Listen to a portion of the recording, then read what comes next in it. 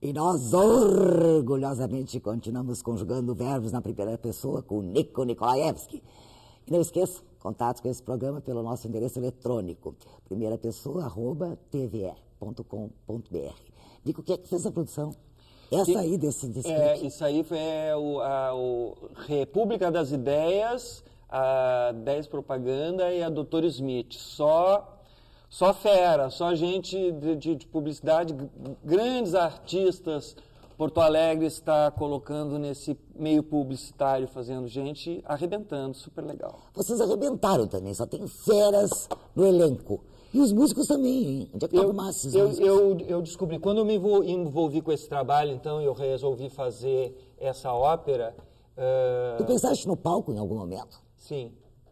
Uh, pensei em diversos momentos. O palco está sempre presente. É como ela, se ela fosse apresentada num palco. Ela foi gravada como se as pessoas estivessem num palco, né? Pro, o próprio desenho também é como se fosse um palco, de certa maneira, né? Tem a cena em que ele, ele vem da areia movediça, ele vem do palco, né? Hum. Uh, mas eu ia dizer o seguinte, que isso é que isso é que seguir. Então, eu encontrei músicos, precisava os músicos para tocar, precisava os músicos. Aí fui procurar e encontrei músicos maravilhosos em Porto Alegre. Gravei com, com um quinteto de, de, de, de cordas, o Rodrigo Bustamante, o violinista, que escutou lá em casa e tal o trabalho, disse, ah, vou, deixa comigo e tal. E aí armou um time super legal, assim, mas baita time e tal.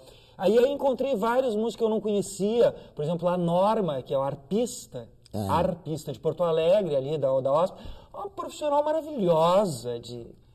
Uh, maravilhosa. Fernando Cordella, que toca cravo também, fantástico. Aí o coro, o coro, que é uma coisa toda que eu encontrei, eu não conhecia, não trabalhava em coro, e conheci, vi um disco do Coral Porto Alegre, hum. cantando músicas do padre uh, de, de, que vivia lá em Minas Gerais, no barro, era o Barroco Mineiro. Hum. Um, um, trabalho fantástico que eu escutei. Eu digo, gente, em Porto Alegre estão fazendo isso aqui. A qualidade musical da gravação, de tudo, era muito, muito boa. Eu digo, bah, esses caras é com quem eu quero trabalhar. E aí fui lá, mostrei para ela o projeto, para a Guisa, e uh, Giza Volkmann. Ela disse, não, legal, vamos fazer aí. E aí eu comecei a desenvolver com eles. A direção toda é tua? Sim, a direção toda. A minha, muita teu... parte do trabalho é meu, mas eu trabalhei com muita gente, é, muitas pessoas em muitas áreas, né? Mas aí, com a Guisa lá e com eles lá, eu desenvolvi a coisa do coro, que é um coro dramático, ah. né? É um coro bem... Blá, blá, blá, blá, e aí... Uh, muito legal. Um corpo bárbaro, bárbaro, bárbaro. Profissionais realmente muito, muito, muito. A tua voz, tu tens trabalhado a tua voz? Eu sempre trabalho a minha voz, sim. Tenho trabalhado sempre ao acordar, na realidade. Hum. Acordo e faço uma série de exercícios para dar uma conscientizada na voz e, e, e na respiração, né? Uhum. Sabe que eu era, eu era muito gago, uhum. muito gago. Hoje sou pouco, uh, perto do que eu era, principalmente. E, e modificou muito quando eu ah, comecei a fazer esses exercícios, há uns 10 anos atrás, com um professor no Rio de Janeiro. Para isso também serviu ah. o Rio de Janeiro. Um baita professor. Porto Alegre não tinha. Esse professor não, um baita professor, muito legal. Tá. Nico, e como é que foi a concepção dessa ópera? Ela foi concebida para a história em quadrinho? Não, ser uma ela, ópera. Não, não, é, não, ela foi concebida para ser uma, uma, uma coisa que foi. Né, ela foi concebida agora. Concebida, concebida do fato de nascer, ela está nascendo agora. É. Né? Está nas nossas mãos, tem limpando sangues ainda, ela está tá, tá nascendo. É uma história. Gerada, né? Ela é uma história que vem sendo gerada há 15 anos. Hum. Há 15 anos eu comecei a ter a ideia. Primeiro era para fazer com uma continuação do Tantos Tragédias primeira ideia era isso. Fazer uma ópera, fazer o desenvolvimento da linguagem do tango tragédias. Aí, no meio do caminho, muita coisa foi acontecendo, 15 anos atrás, e, uh, e, uh, e acabou se tornando uma coisa de um caminho pessoal, de um descobrimento, de uma invenção, né, de trabalhar com orquestra, de trabalhar com coro, de trabalhar com a dramaturgia tão associada a uma história, né? No Tantos Tragédias já havia experiências nesse sentido, existe experiências nesse sentido, mas não uma experiência desse tipo, que o cara tudo é cantado, né? Hum. Boa noite, como está você? Eu estou bem, e você? E aí tudo que é tudo é cantado na história. E essa brincadeira de cantar o que se fala foi o que eu fiquei curtindo isso. Então, uma cena lá que é uma cena de assassinato. Aí, uma cena de assassinato, como é que podia ser uma ópera de ação?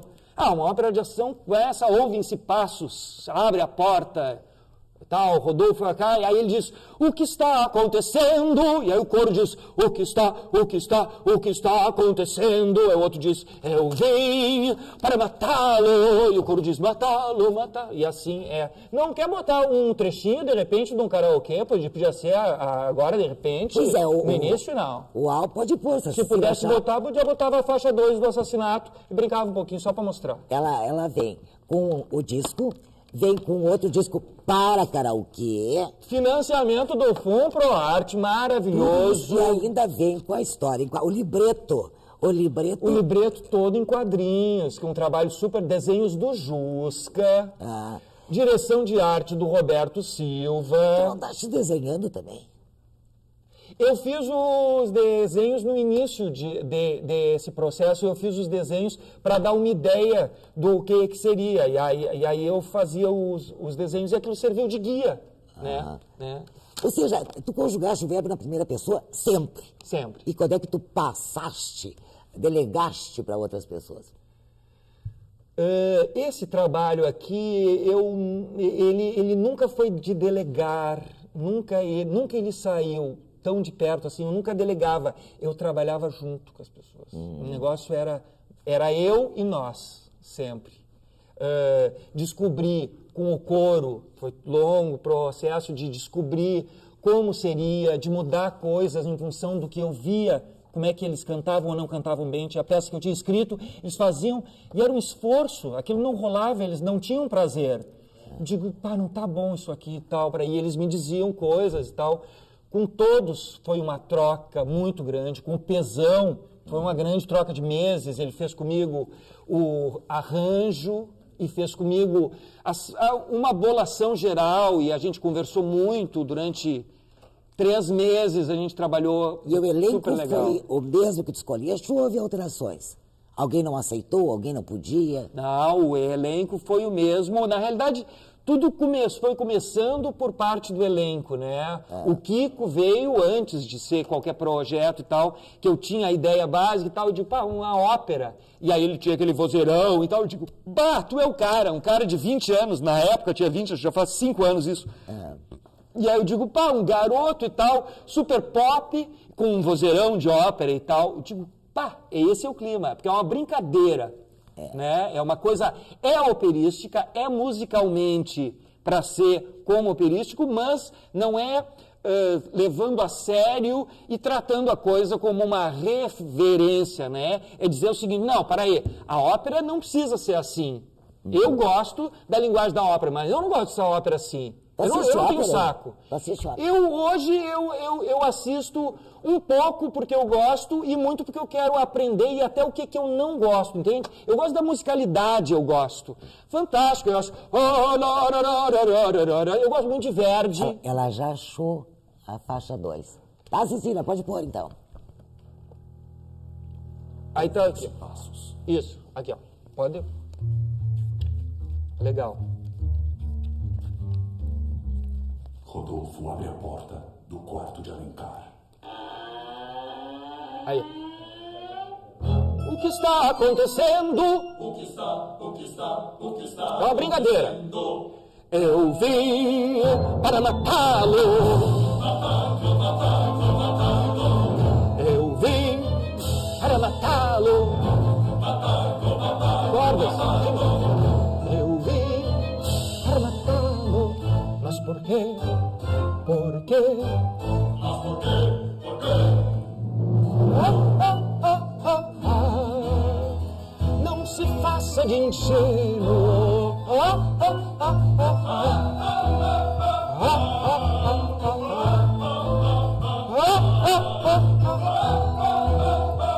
não se faça de ingênuo. Obrigada. Tu disseste que tu pensaste em palco. Seria um espetáculo muito caro? Não sei, ele pode ser de tantas maneiras. Esse é um projeto que é uma coisa, quando eu comecei a ver, eu nunca tinha imaginado história em quadrinho. Eu imaginei naquele momento lá que eu resolvi. Ela tinha 30 e poucos minutos. Eu digo, ah, em palco, 30 e poucos minutos é pouco. sempre começa com 30, né? Tangos e Tragédias também começou com 30. E o meu disco também não tinha mais do que 30. e depois dele... Esse é o problema, pois é. E depois é que vai se desenvolver. Exatamente. o- esse é o meu processo, esse é o meu tempo. Truque que maluco. aquele de... Vamos repetir? É, em função dos 30.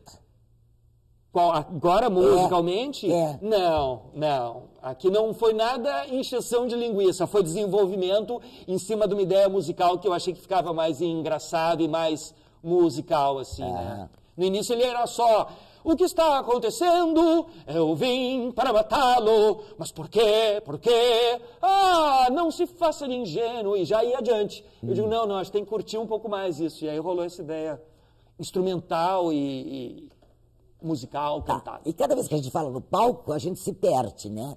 Tá, tu disseste assim, eu comecei a desenhar. Agora, o teu projeto, aí, quando tu estavas desenhando, ainda era de palco.